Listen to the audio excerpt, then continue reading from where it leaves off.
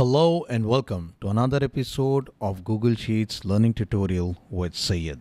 In this episode, we will see how to do a VLOOKUP in Google Sheets. To follow along with me, please click on the link in the video description to make a working copy of this workbook. There are two sheets on this workbook. See it is where I will demonstrate and do it is for you to practice. Let me go into the See it sheet. Here I would like to extract the full name and staff type of these employee IDs from this data set. I can do that using a VLOOKUP very quickly. But before I start, let me explain the syntax of VLOOKUP. The VLOOKUP requires four arguments. The first one is a search key. What are we looking for? In this case, I'm looking for an employee ID.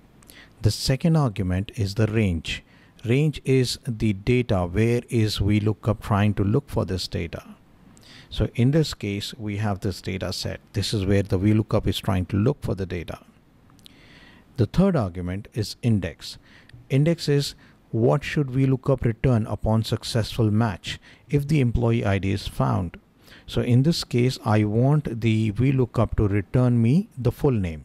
In this case the full name is sitting in the fourth column from the lookup column. My lookup column is employee ID because I'm trying to match the employee ID. Once the employee ID is found in my lookup column, that is column A, from there, I need my full name. So it is going to be the fourth column starting from column A.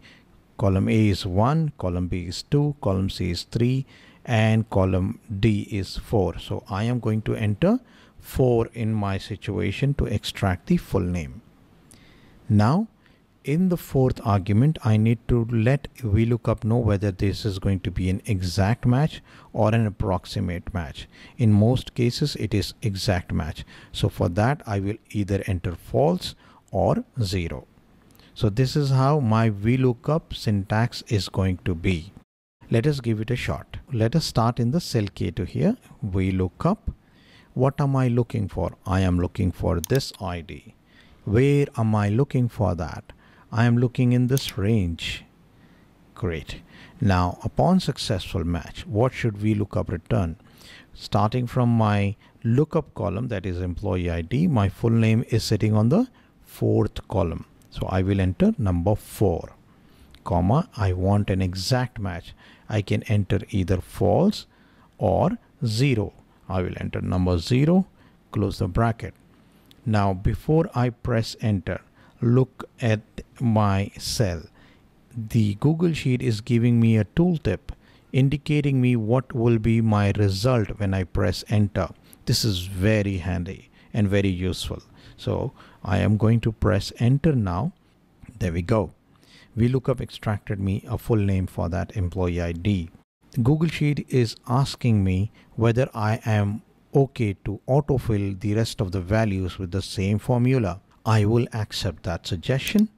Now I have all my full names extracted for me. Let us give it a try one more time.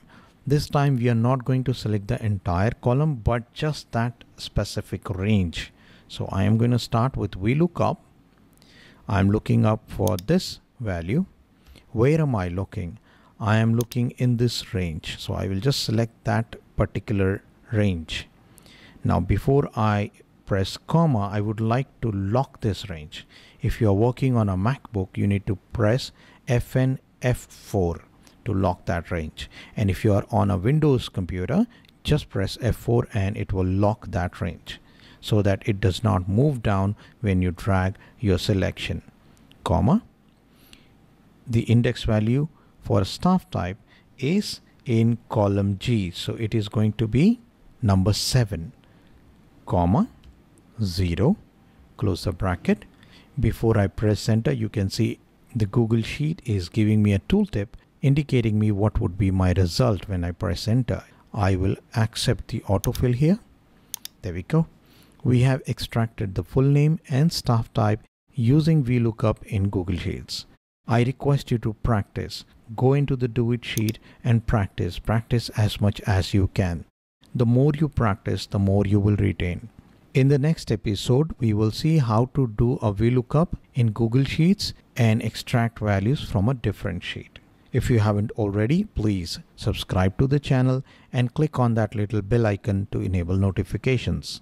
Thank you so much. Have a very lovely day. See you soon.